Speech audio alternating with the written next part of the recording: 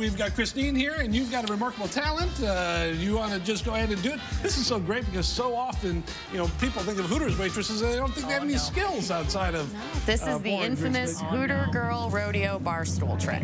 Oh boy. I think my mother tried this once. Oh! Look at this. Oh, got a, whoa. Just a, wow. Is that legal? Yeah, it is. I believe it is. I'm just checking. Boy, I- Teach the kids how to do this? No. I'm trying to get on this stool here. See if you can't spin that thing around a little bit. Christine, thanks. Thanks, Christine. Allie, appreciate it. I'll take that beer. Boy, it smells like beer in here.